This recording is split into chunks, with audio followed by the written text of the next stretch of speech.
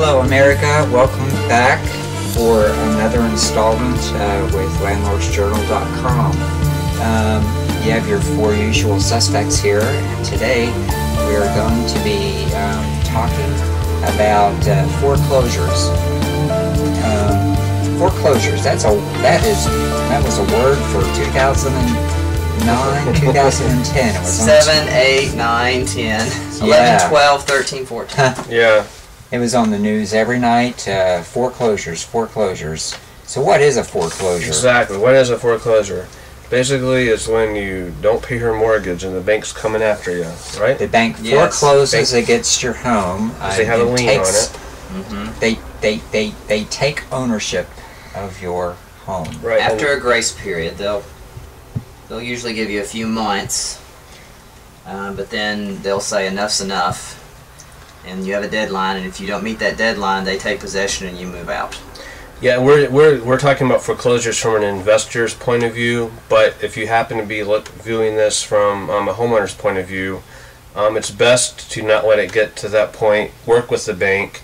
You know, especially now, they're a lot more um, lenient and maybe not as much lenient, but more, they're w- w- willing to work with you more than if you just ignore the problem and let it go away and just, you know, um, let it go by the wayside. So, work, if you're listening from this from a homeowner's point of view, work with your bank um, and, and, and try to work it out. But um, sometimes it's hopeless, and um, you, there's nothing you can do, and the two can't um, come to a resolution, and that's where um, we come in. That's you know, where real estate investors come in and, and could help. Not all we can't help all the time, but it has to be mutually beneficial. And that's kind of more of a pre-foreclosure. If if you're involved and your home is about to be foreclosed, that's what's called a pre-foreclosure, which is different, a different animal Then what? than a technical right. foreclosure, which is what we want to touch It's on. That's already happened. Mm-hmm. Right. Right. So, and I think we want to talk about pre-foreclosures on a different, a different show. That's that's different information, and I don't want to confuse the two. You know, I think it's easy, Right. easy to confuse the two. Right. So I, I think from personally, what we need to talk about is foreclosure for our purposes today is after the bank has taken possession. The homeowner is no longer in the in the picture. Right. And in that case, you won't be listening to this. Yeah. So this right? is more for investors today. Right. This program. Um, let me throw out a question. How do you find foreclosures? How if somebody who doesn't know how to find foreclosures and they, they would like to try their hand at one, how how would you go about even locating foreclosures? What are let's talk about some ways to do that. Um, the easiest way, of course, which is not necessarily the best way, but the easiest way is through real estate agent. A lot of times they won't. That's how we found out. Well, actually, we found one of ours. The last one we purchased. The last one we purchased uh, through a real estate agent was a foreclosure.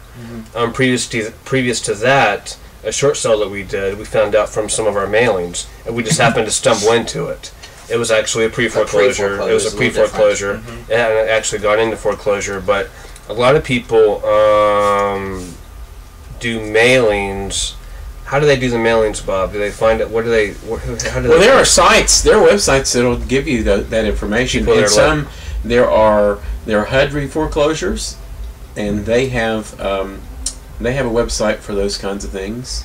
And a lot of times they they won't go into the they won't go into real estate companies' hands. They'll go into a like an auction house, and we've looked at some of those.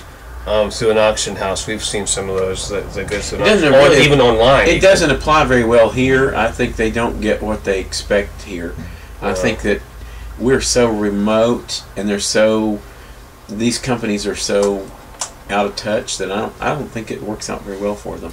I But think in a small town like ours, maybe a good way to find out about foreclosures is to to call the local banks and ask to talk with. Right. that's another one. They, But let's talk. Let's stick with real estate. Find out who the REO. Uh, just ask uh, what if they have a list of their REO properties, which is uh, real estate owned. REO is Mhm. is what the, is the bank lingo for a property they've been.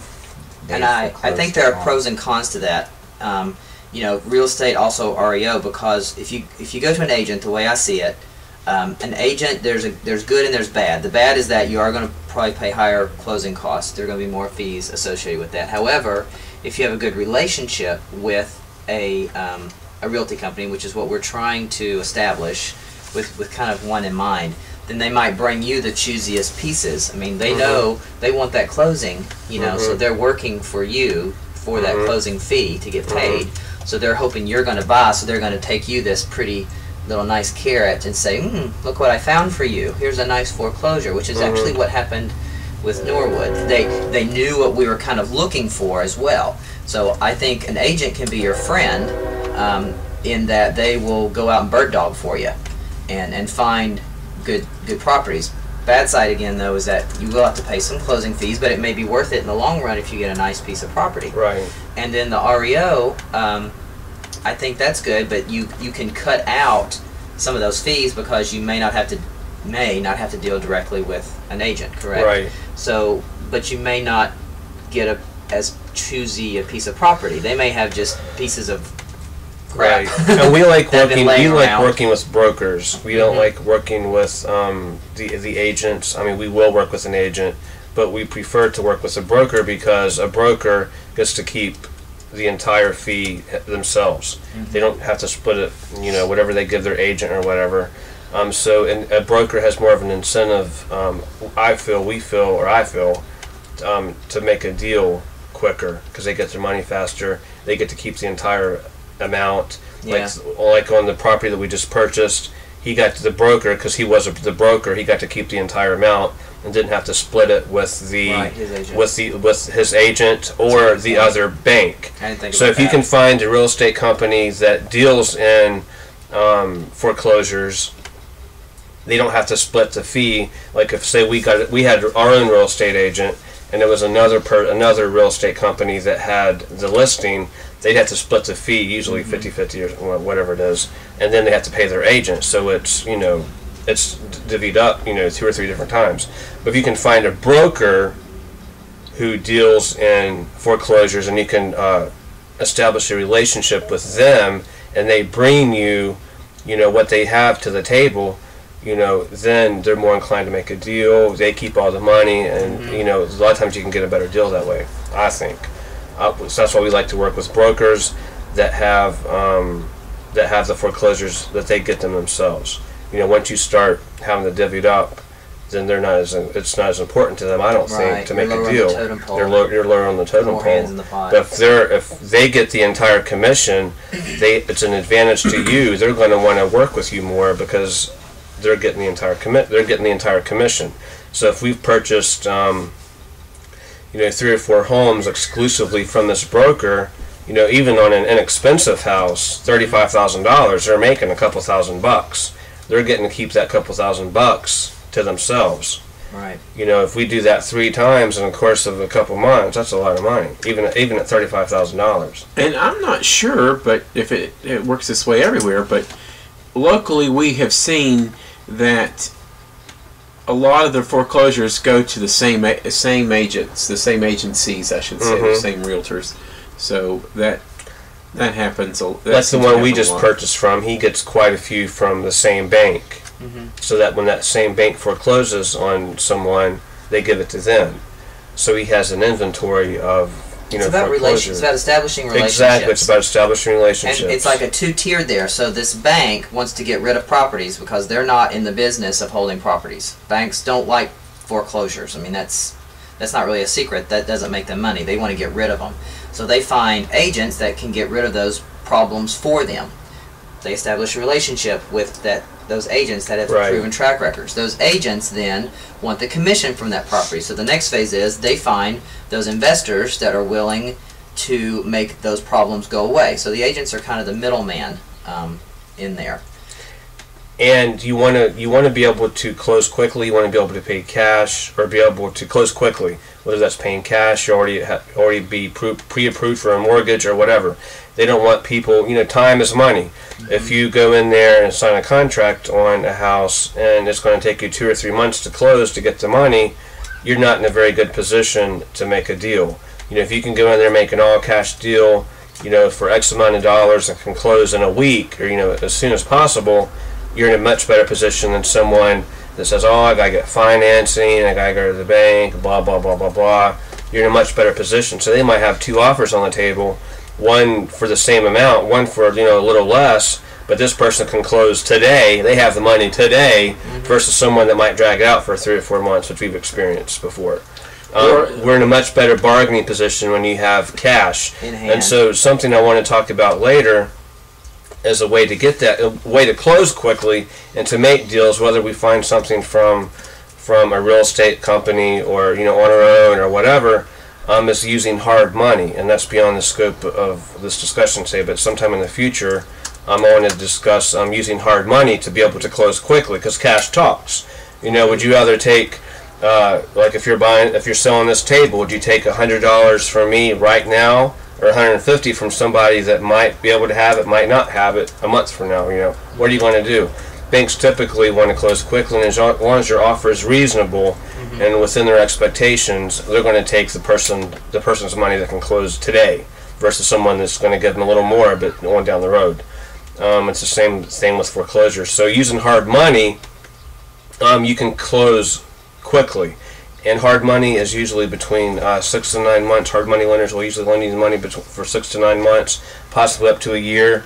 And then it gives you enough time, you know, to you know go to a bank and say, hey, I want to pay this off, this hard money lender off. Gives you enough time, gives you enough leeway.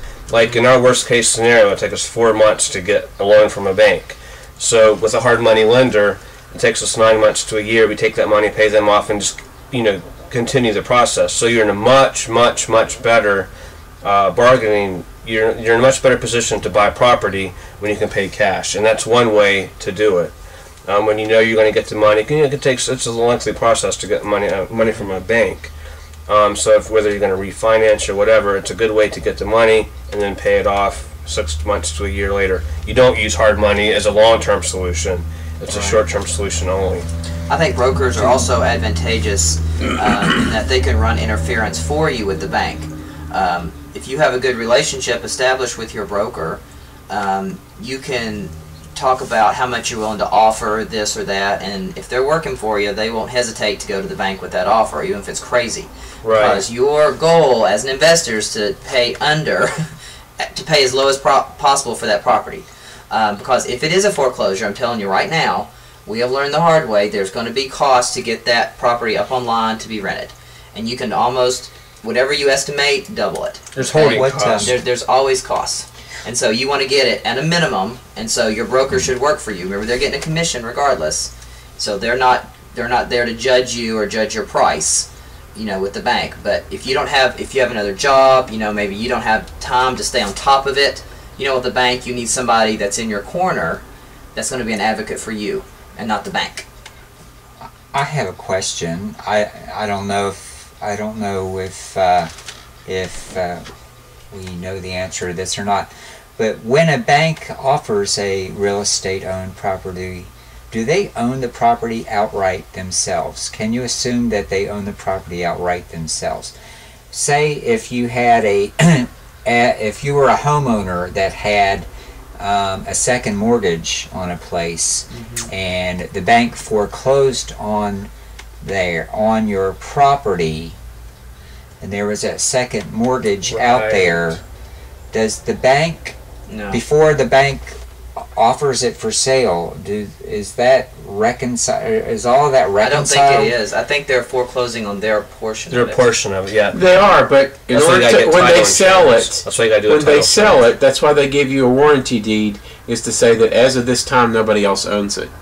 right? or a portion of it. Because we could have a lien on it. We could have a mechanics lien. We could have a. We could, they could have went and refinanced it, Mm-hmm. and then it, from another bank even, and have like a twenty thousand dollar line of credit out on it that they would have. That So they'd be in the that- second position. What does that warranty deed what does that warranty deed tell you does it tell you that the second mortgage has been reconciled No, it, well, or what has it, been you know if there was one. Yeah, all. what it says is that we we're not going to take the time. A general warranty deed means that we're not going to take the time to to research it. We've we've done our limited research. We own it. We guarantee that if something does come up, you you're protected. that if there is a second out there claim. that they are go- they will they will um, pay the I, I can't say whether well they'll pay it or whether they'll whether you get your. I think it has to do with the amount. Yeah. as to what what action they would take. Um, but the warrant the deed that we got this time was a limited warranty deed, which did not protect us the way we wanted to be protected. So we did a title search in addition to that. And that which is we paid for. yeah, we did. And So that's wa- what you may have to do. yeah, You may have still to have put to some do it. money. Because I was you have to very concerned title about search that. just like Yeah. as if you were doing it, Right. buying it from right. Right. an individual. and when you pay cash for something, you know, usually when you get a mortgage, that's required. Right. You got to do a title search, have title insurance, a and so on and so forth. Yeah. But if you're paying, say you had, you know, thirteen thousand dollars saved up, and you want to go, you find this awesome deal on a foreclosure, and you paid cash thirteen thousand dollars, you know, for a house. Make sure that you get title, uh, do a title search, and get title insurance, because what could happen is there might be several liens on that property, everything from a mechanic's lien, you know, we didn't get lien. title insurance. Well, huh? Well, on this on this one we didn't, did we? I don't. We did not. We We, did don't not. have title insurance on. No. We've always gotten title sur- insurance in the past. Nope. We haven't. Nope.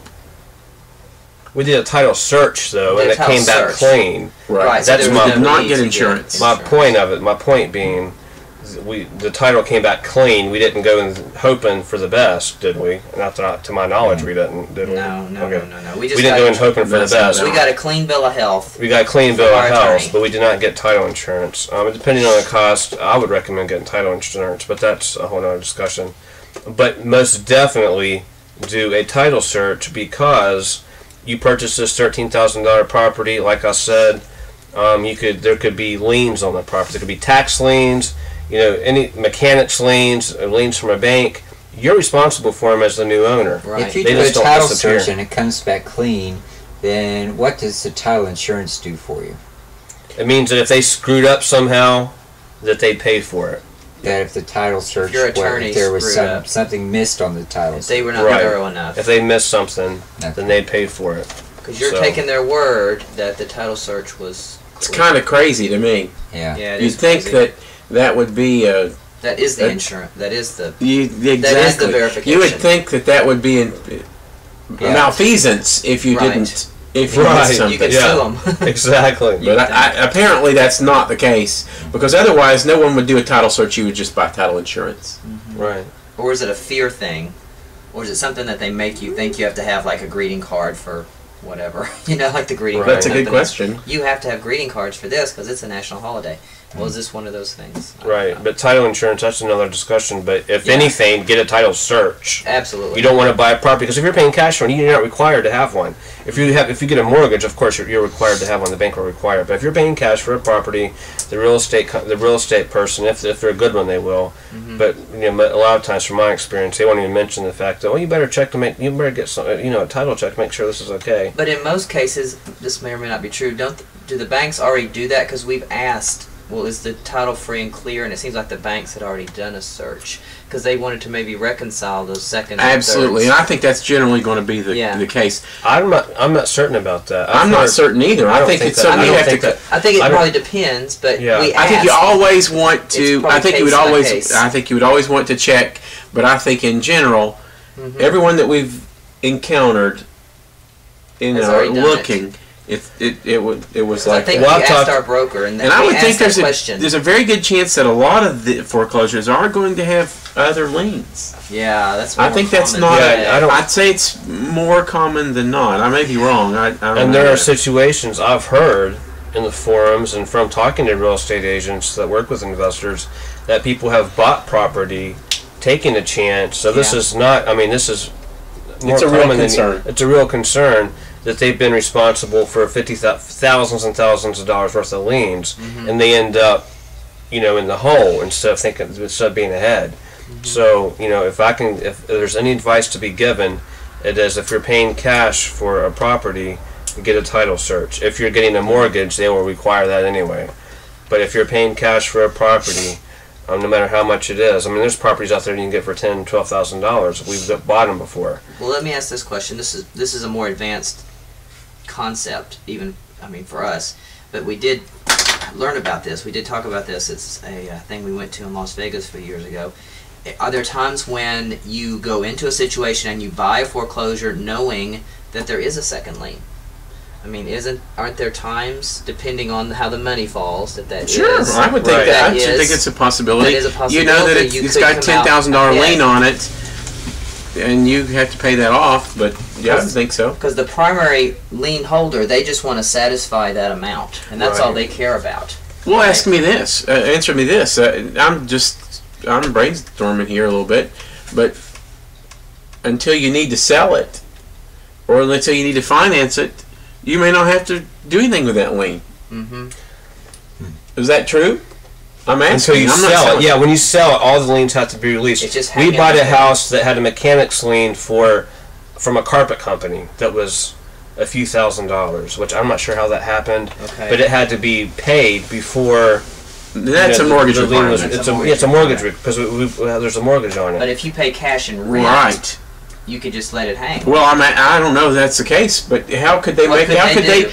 How what, could they, do, on it? What could, can they foreclose on that second? Can you foreclose? I foreclose? think they That's- can. that's the they question. Can. I don't if you have a lien on it, they can foreclose on it, and that's where a lot of these scams. ah. These scams so come that into it goes to play. the prime. They become primary then. If the primary's been satisfied, second moves up to primary, right? Well, that, if that Uh, that's yeah, horrible. I think I think That is horrible, That's why I they bet have to be taken happens. care of because they can foreclose. Any of the any of the lien holders can f- foreclose on it. It can cause you trouble. Yeah. Like uh, if I put a lien, if I put if I did a, if you did a subject to, like you know we've talked about this before, and this is beyond the scope of this again. But if I did a subject to on your home here, I own your home. It's not even a lien. I own it. But say I put like a mechanic's lien. I did some work for you. Blah blah blah blah blah.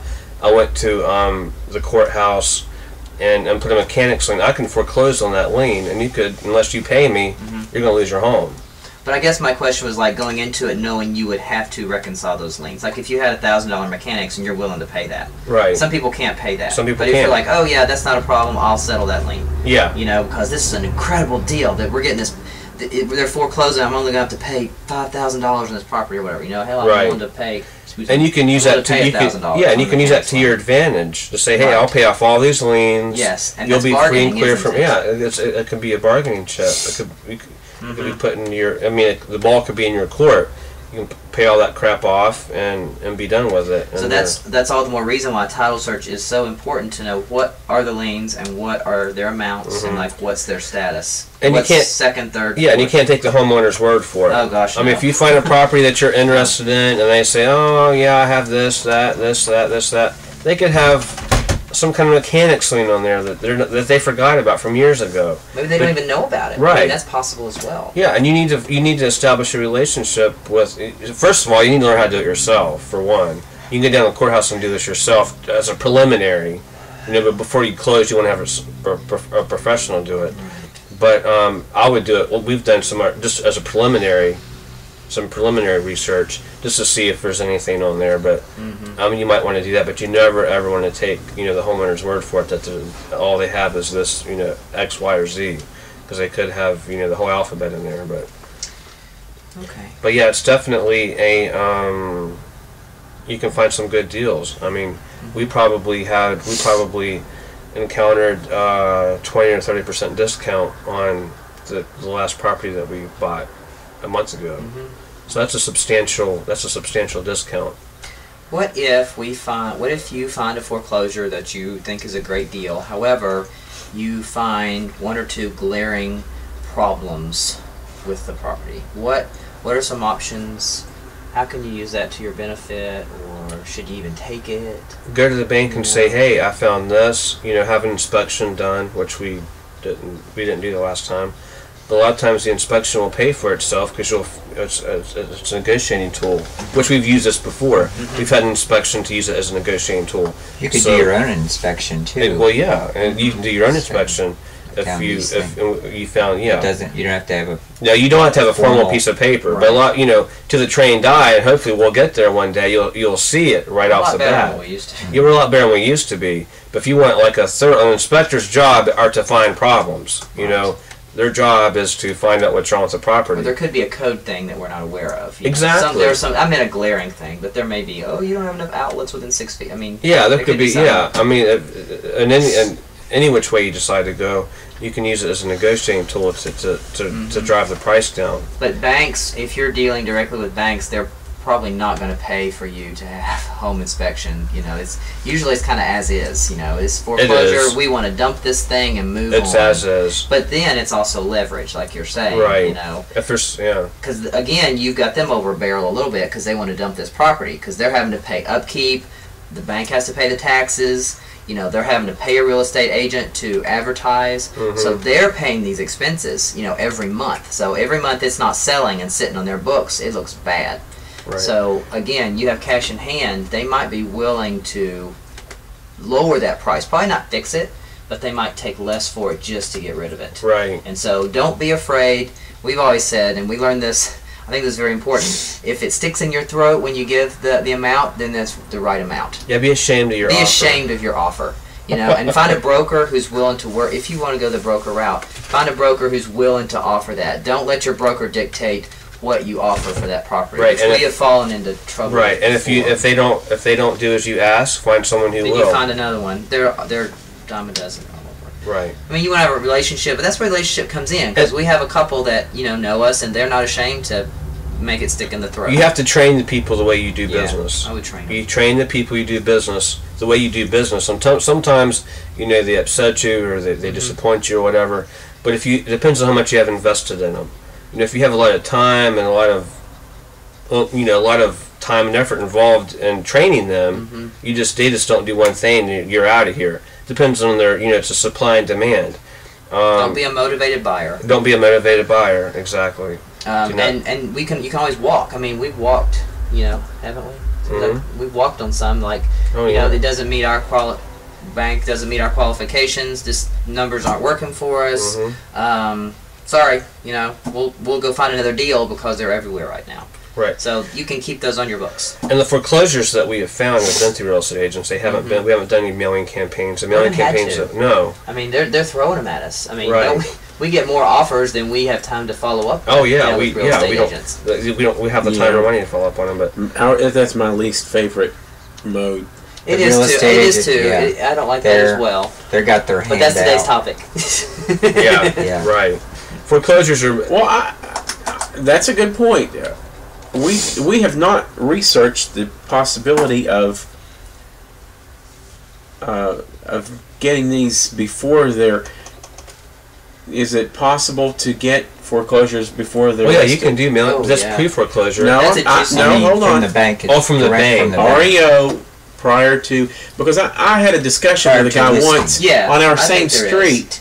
Right, There was they he did not want to use a real estate agent. right. Mm-hmm. and he loved selling his stuff, his his foreclosures don't have to pay those fees. yeah, prior to that. I think establishing He was a relationships with the different kind of he's a different kind of banker, and he's not even he's not in this area anymore. But um, it, I just wonder about I wonder if there's many opportunities. for can't. You can call the REO. You have to ask for the REO department. You know, establish your relationship, send them faxes. You know, Mhm. talk to them, find someone, or whatever, and establish your relationship. Cut out the image. Cut out the the, the middle guy. Have your cash in hand. They're Have gonna your be- cash in They're going to be more willing to deal with you Exactly. that.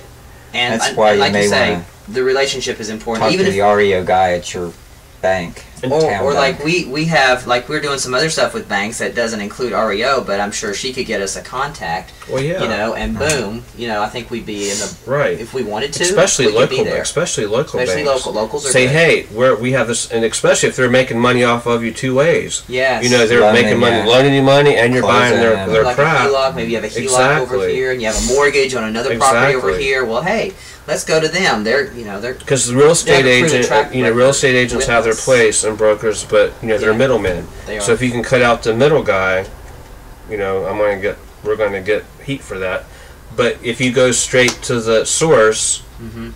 you know, a lot of times you can get better deals, you know, so on and so forth. Um, I'd say there's also, s- and I'm not, I think that's predominantly true, but I think there are also can be when a bank has a good relationship with the with a broker. Sometimes the broker can put the brakes on them, going, thinking they've got more than they. Especially, the, here's what the bank wants: the bank wants hundred percent of their mortgage mm-hmm. that they're they've foreclosed upon. So they want all their money back. A real estate a, a, a real estate broker can sometimes say, hey, I know you you owe that in order to get your money out, you got this. But I'm just telling you, based on the market, you can only get this. Right. So, so I, I think there's there's potential that you can still do well with a with a broker, even though um, you're not you're you're paying seven percent, but it might be seven percent of a smaller number, which may not hurt as bad. In some in some sense in some instances, and DeWine does this. Um, she'll buy them in bulk. She'll go to a to a, a bank and say, "I want to buy all your REOs. I want you to cut me the best bottom line deal, the best deal you can make me." And again, you got to have your ducks in a row. You got to get organized. You got to you know have your money lined Cash. up. You have to have cash. And a lot of times the bank will. You can go to that bank and even do it if you mm-hmm. have your crap together. Go to the bank and say, "Hey, I want to take all these off your hands. Give me the, the bottom dollar. You know, work out a deal that way, and buy them in bulk, um, and take them take them all off their hands. And there are people who do that before they even get to the Yeah. to the real estate. And if you have the resources to do that, that's exactly what I would do. I would go to the bank, especially around here where the numbers are kind of small. Mm-hmm. Go to the bank and say, hey, especially like if you like. Um, you know us comp- combine our res- resources together we'd have a lot of purchasing power go to the bank and say and it takes a lot of trust and all that kind of stuff which we have go to the bank and say hey we want to take all your all your uh, all your REOs it might be a million dollars worth but and it's a it's a big gamble but you have you take them off their hands you get a discount and then you either you sell them rent them or whatever but that's what DeWine does and that's that's for another show too but um, We're not we- quite there. we're not quite. We're not quite there. Not close. Even close. But We're we're on our Um, way. yeah. But the thing is, establish establish a, real, a relationship with a broker, real estate company that that deals in that because there's they banks usually have a, a few that they work with um, exclusively. You know, I'm not. And, or, or establish a relationship with the REO, REO guy, most REO woman. I mean, most people, if you're an investor, you probably are in a house, you own your own house, you must have a mortgage with somebody. That might be a good first step if you want to Mhm. say, hmm, let me talk to my bank where my mortgage is, or, or the guy who sold me my house. right. You know, that might be a good lead in, point of entry. Exactly. You know, or that's where I would go. And in the case, or and you can do um, before it goes into foreclosure, pre-foreclosure, which is another topic. You can do mailings and, and Yeah, that that'll kind be a thing. juicier topic. Yeah, that'll be that's much more fun. But that's it for today. Is that it for today? Well, I that think- is it done yet? It's I, I think it minutes. is. I think it is a take. Um, one of the one of the things that I've noticed with the foreclosure deals that we did is they happen fairly quickly. Mhm. These banks aren't aren't don't have the emotional um, um, attachment that a, that a homeowner does, and they they they they They're also pains in the neck. yeah. They've already they've already evicted the people, so they yeah they're gone. Yeah. The homeowner's not even in the But, picture. uh, okay, America, um, that's uh, that's our take on uh, foreclosures. From an investor perspective. And uh, tune in uh, to landlordsjournal.com for some some uh, further topics in the, in the near future. Okay, bye bye. Bye. See you next week.